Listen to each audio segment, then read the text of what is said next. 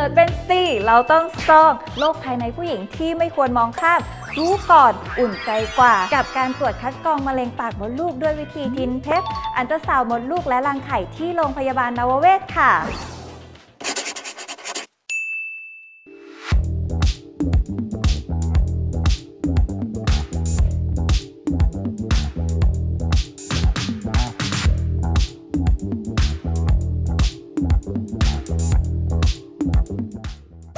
วัสดีค่ะ เมยนะคะ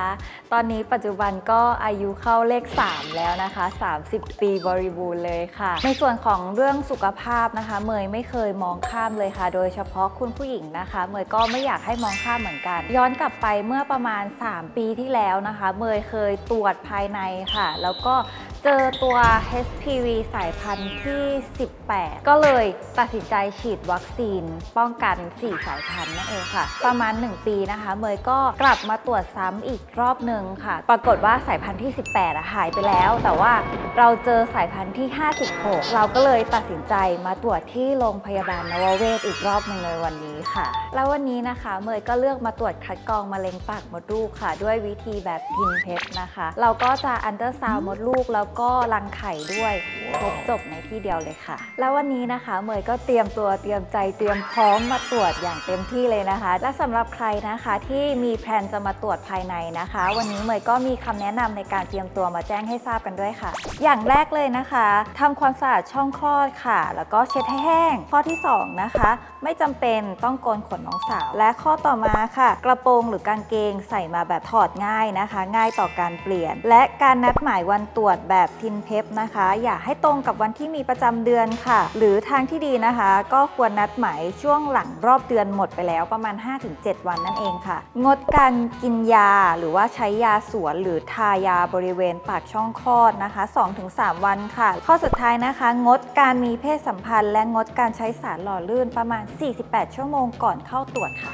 และตอนนี้นะคะเมย์ก็พร้อมที่จะเข้าตรวจและไปปรึกษาคุณหมอแล้วค่ะ เดี๋ยวเราไปกันเลยค่ะ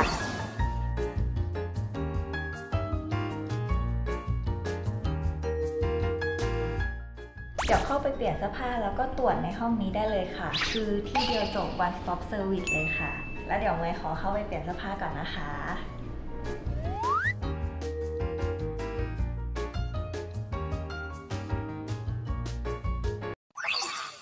เอาละค่ะ เมยก็ตรวจเสร็จเป็นที่เรียบร้อยแล้วนะคะ แล้วเมยก็จะมาเล่าการตรวจคร่าวๆให้ทุกคนฟังนะคะ หลังจากที่คุณหมอสอดหัวแปรงใส่เข้าไปแล้วนะคะ คุณหมอก็จะทำการหมุนประมาณ 10 รอบค่ะ เพื่อเก็บตัวอย่างเนื้อเยื่อเซลล์จากบริเวณปากมดลูกนะคะ หลังจากคุณหมอเก็บเนื้อเยื่อเซลล์เสร็จแล้วเนี่ย ก็จะถอดหัวแปรงออกค่ะ แล้วก็จุ่มลงในกระบอกน้ำยานะคะ เพื่อรักษาสภาพเซลล์นั่นเองค่ะ และหลังจากนั้นนะคะ คุณหมอก็จะนำกระบอกน้ำยาค่ะ ส่งตรวจทางห้องแล็บที่ได้มาตรฐานนะคะ และเราก็ต้องรอผลประมาณ 7-14 วัน โดยทางโรงพยาบาลเนี่ยจะโทรมาแจ้งเรา เราไม่ต้องเสียเวลาเดินทางมาฟังผลเลยค่ะ และในโปรแกรมนี้เรายังได้ตรวจอันเตอร์ซาวด์ตรวจภายใน เพื่อดูความผิดปกติของมดลูก ท่อนำไข่ รังไข่ กระเพาะปัสสาวะ และช่องคลอดค่ะ ครอบคลุมทุกอย่างเลยตรวจทีเดียวก็คือเอาให้ครบแล้วก็ละเอียดทุกจุดเลยค่ะ คุ้มมากค่ะ ถึงเวลาที่จะมาตอบคำถามที่ทุกคนรอคอยกันแล้วนะคะคำถามแรกเลยค่ะ ใครควรตรวจบ้างเมยตอบตรงนี้เลยนะคะว่า ใครควรตรวจบ้างเมยตอบตรงนี้เลยนะคะว่าผู้หญิงทุกคนควรตรวจพินเพปอย่างไม่มีข้อยกเว้นค่ะคำถามต่อมานะคะ ควรตรวจทินเพปเมื่อไหร่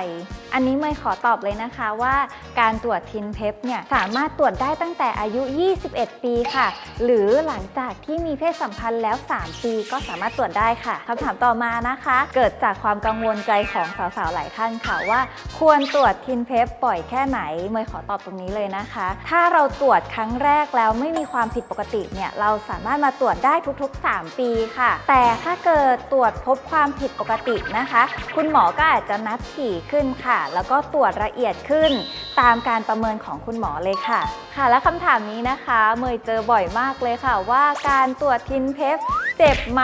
เมย์บอกตรงนี้เลยนะคะว่าไม่เจ็บเลยค่ะ ชิลมากค่ะ และหลังจากที่เราเข้ารับบริการการตรวจเสร็จแล้วนะคะ ไม่มีอะไรที่จะต้องดูแลเป็นพิเศษเลยค่ะ สามารถไปทำกิจกรรม หรือว่าภารกิจประจำวันอื่น ๆ ได้เลยค่ะ เอาเป็นว่านะคะ รู้ก่อนอุ่นใจกว่าค่ะ อยากให้ผู้หญิงทุกคนมาตรวจกันนะคะ กับการตรวจภายในด้วยวิธีการตรวจแบบพินเพปค่ะ เพื่อคัดกรองมะเร็งปากมดลูก ตรวจหาเชื้อ HPV อันตราซาวมดลูก และรังไข่ค่ะ ที่โรงพยาบาลนวเวศ สามารถกดดูรายละเอียดราคาแพ็กเกจสุดคุ้ม ได้ที่เว็บไซต์ hdmore.co.th หรือคลิกที่ลิงก์ด้านล่างได้เลยค่ะ สะดวกมากๆเลยค่ะ เหมือนมีผู้ช่วยส่วนตัวคอยช่วยทุกอย่างเลยนะคะ ดูวิดีโอจบแล้วขอกำลังใจให้น้องจิ๊บอย่าลืมกดถูกใจและกดติดตามด้วยนะคะ